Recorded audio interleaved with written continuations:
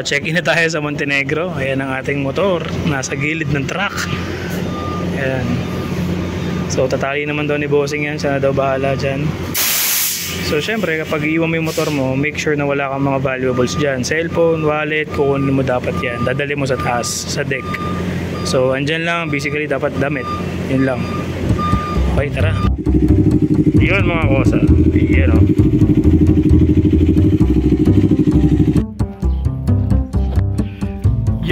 mga kosa? Dito ngayon tayo sa Bakawan Nature Study Eco Park, Calibo.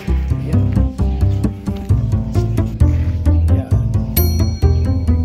Save the Mangroves Association. Bakawan. So, check natin yung loob. Alright?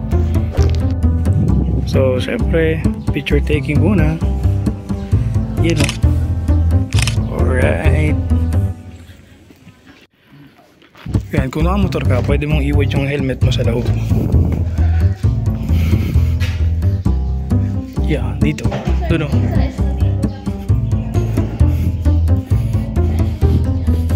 Yan, may mga souvenir shop din dito. Yan. Then registration. Afternoon.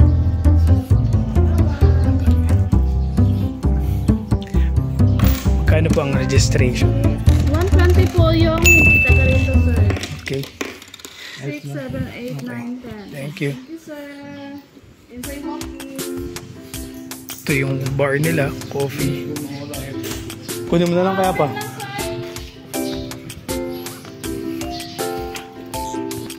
Isang ice americano tsaka ice ice ice baby. Ang hirap mag-decide eh. Ice latte na lang po. Ayan. So pwedeng dalhin to sa loob, no? Yun. Dito na lang kayo, sir. Ay, ako din. Madam, pwede ka bang itanong ano yung mga makikita sa loob? Puro mangrove, sir. Ah, so nature reserve na mangrove.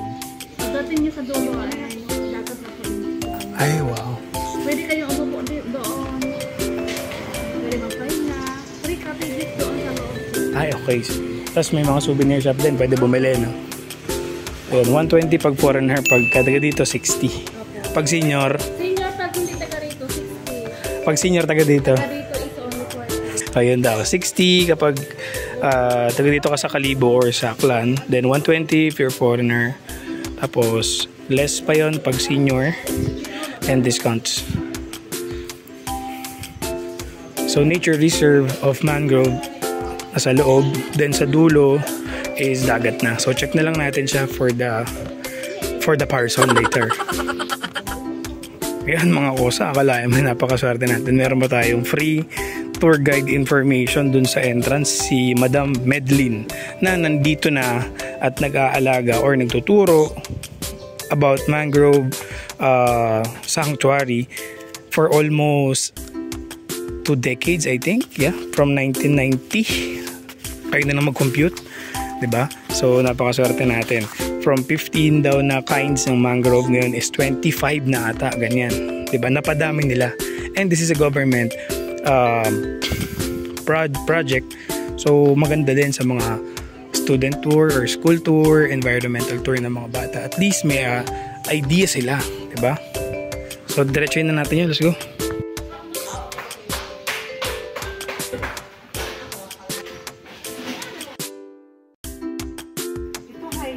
Ito yung with latte. Cafe latte ice. Okay, madam. Picture ko lang. Ice Americano. Yung ano namin.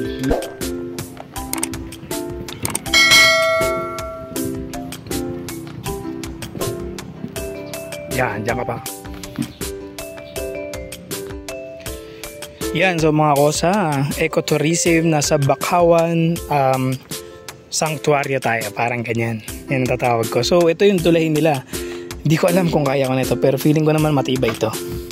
So, kawayan din. So, ito na yung mga mangrove na pupuntahan natin. So, dahan-dahan lang.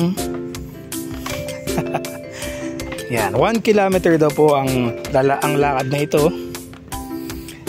almost 15 to 20 minutes depende sa bilis ng lakad mo yan sa dulo dagat na parang ganun. Dahan-dahan lang kasi medyo mabigat po tayo.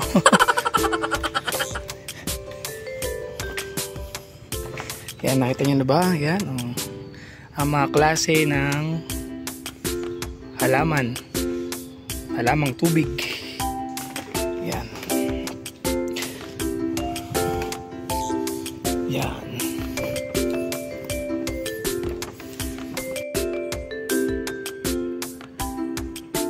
gitna na tayo ng uh, mangrove.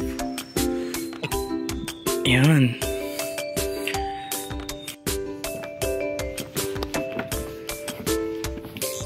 yan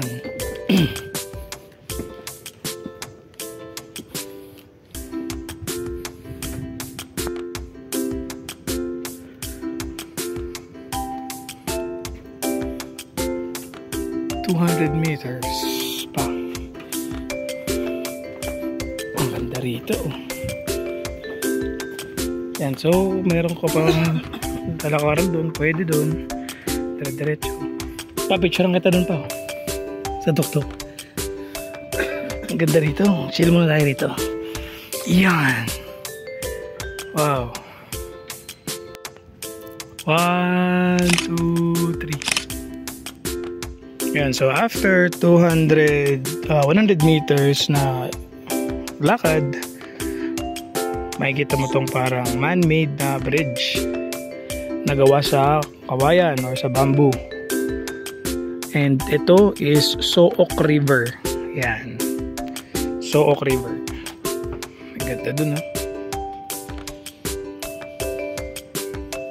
So kapag uh, pumunta kayo ng Kalibo, try yung dumaan dito. Mura lang naman ang entrance fee and may drinks din sila. So pwede mong dala yung drinks habang ikaw ay naglalakad dyan sa mangrove na yan.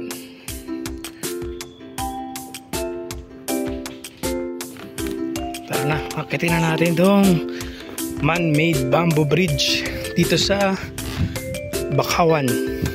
Sook River. Wow, ang ganda pala dito.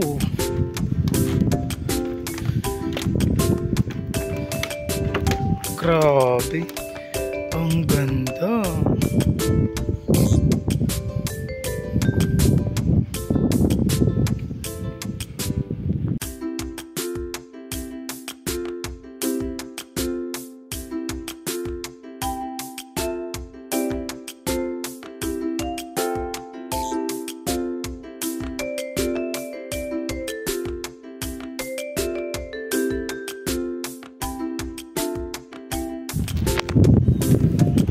Baba na tayo. So syempre kung may fear fights ka tulad ko medyo kakabahan ka ng konti? Pero sabi ko matibay ito dahil ako ay mabigat ako 123 kilos. Kayang kaya naman. And always live your life to the fullest. Nakakakabaman pero kailangan mong gawin. Syempre minsan lang yan yan, tas another 800 meters pa ata. Ganda mga koso.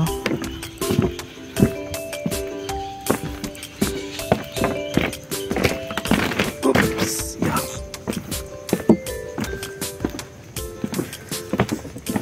Ito tayo dun sa may kanto bago kumaliwa. Yan. Kita nyo naman kung gaano kaganda yung mangrove na to. Sanctuary. Diba? Mangrove Sanctuary here at Kalibo.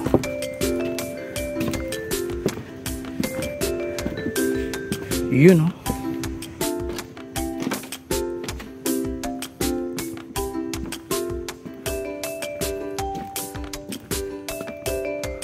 So, 25 pieces.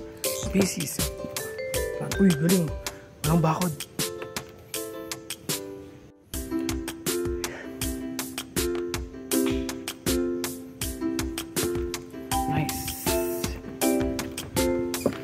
Siyempre, tapon mo yung basura mo dyan sa basurahan.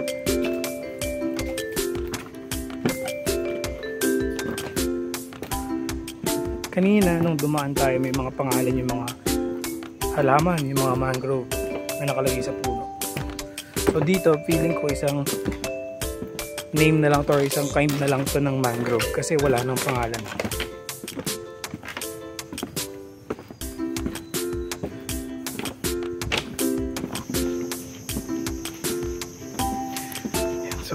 Ingat-ingat lang dahil hindi na ganun katibay ang man-made bridge dito sa Bakawan.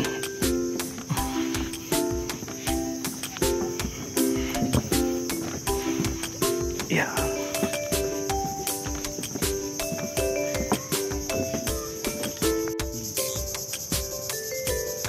Lalaki ng ugat. Ugat, ugat na yun pa no? Hmm. O baka nasa ilalim ng lalaki.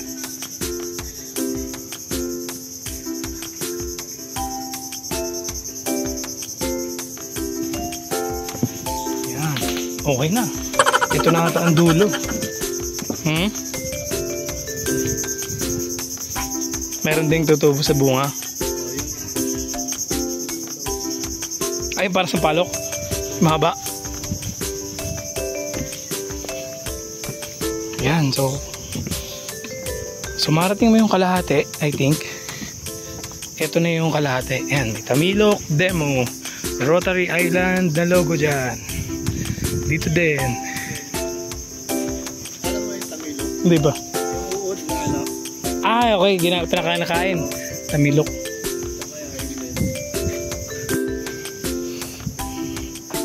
Bakawan Nature Study and Eco Park. New Baswang, Kalibo, Aklan, Philippines. Yan. So, may CR din, oh.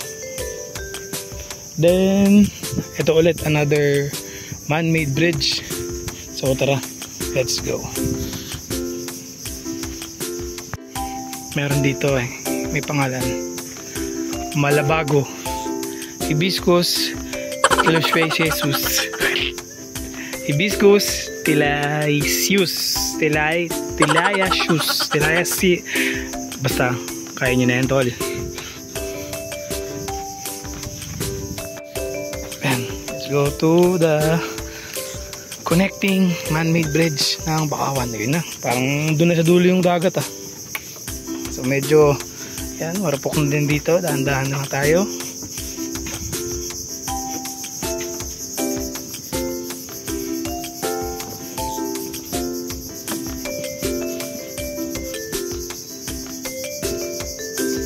May kubo.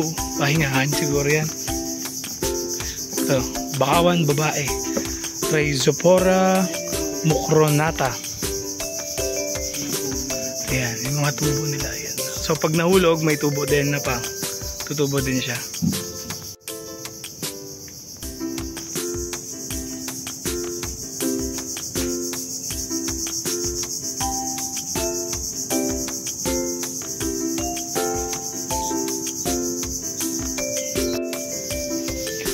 Yan. So, 800 meters na lang.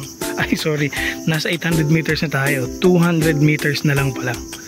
Okay, let's go. Sana po hindi tayo mahulog. 200 meters ago. Uh, more. 200 meters more. Ang pinakamalapit doon. Babalik tayo ulit.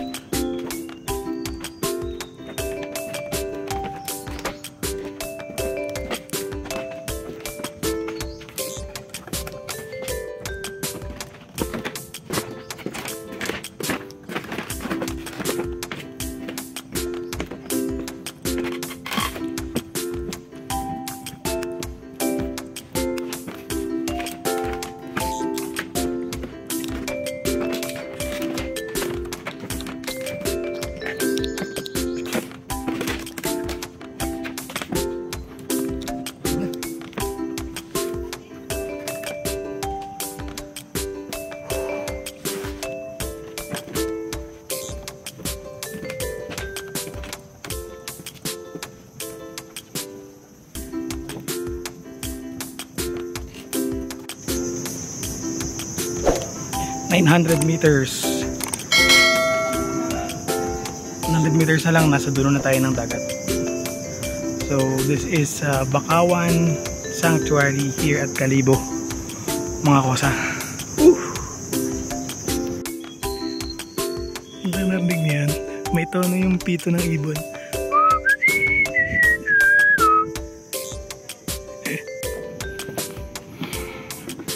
Okay mga tol. Ito na. After 1 kilometer na lakad sa umuugang kahoy na bridge. Ito na. Ang Bakawan. Ang dulo ng Bakawan. Yan. Wow. Yan ang dulo ng Bakawan Sanctuary here at Kalibo. So dagat syempre. Yan.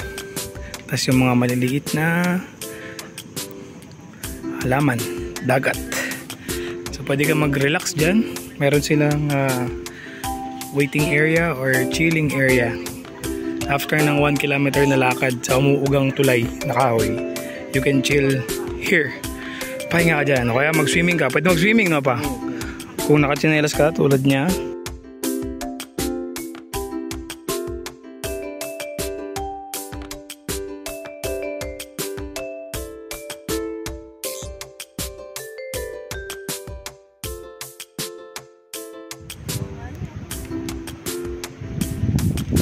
Nasa dulo na tayo ng Bakawan Sanctuary.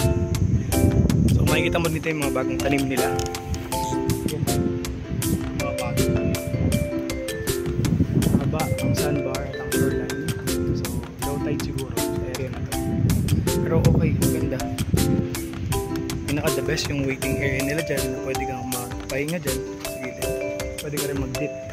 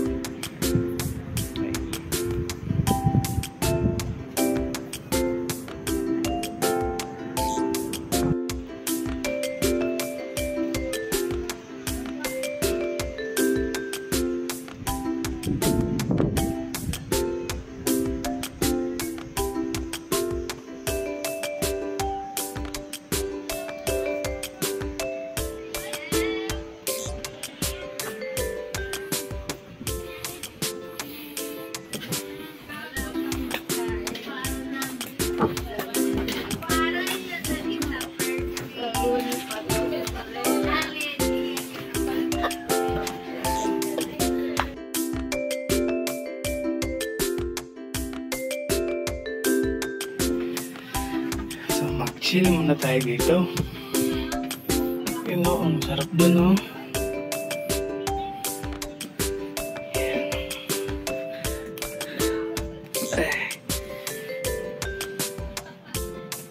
Uy!